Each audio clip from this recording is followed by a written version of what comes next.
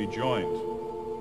If any man can show just cause why they should not be lawfully joined together, let him speak now, or else hereinafter